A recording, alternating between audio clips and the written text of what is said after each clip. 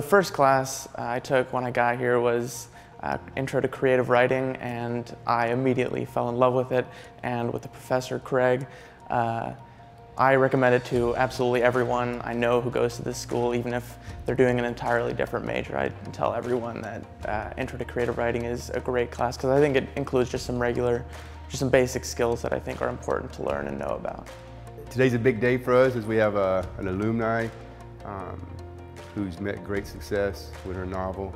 And, and her being here sort of demonstrates the uh, possibilities for our students, um, not only in terms of sort of financial success, but just an artistic success.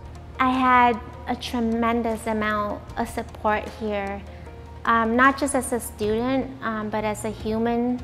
With a really small campus, I felt like I could access my professors.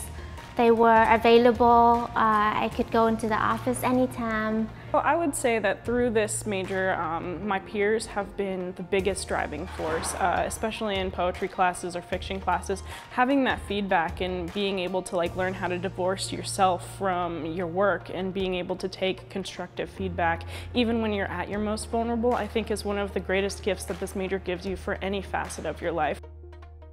There's a story there. Does he leave some of the story to us? Yeah, and that's what's cool about it. Is that right?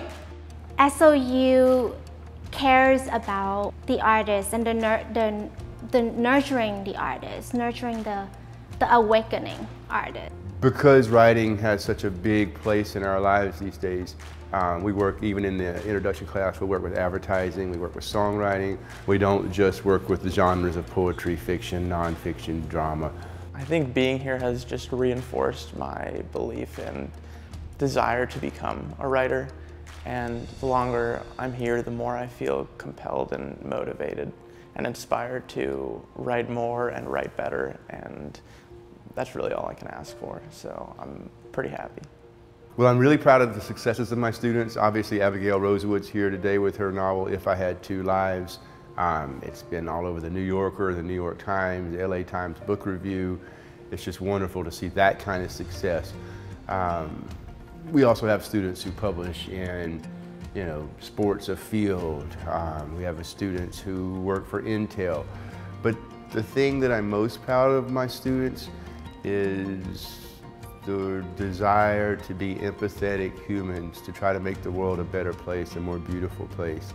Um, the desire to see a truth deeper, um,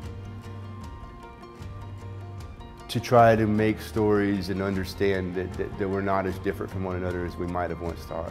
For a creative writing major, uh, it, it is not just about uh, learning something technical, it is about emotion. So I think the, the professors like Craig, Casey, they, they risk a lot for us.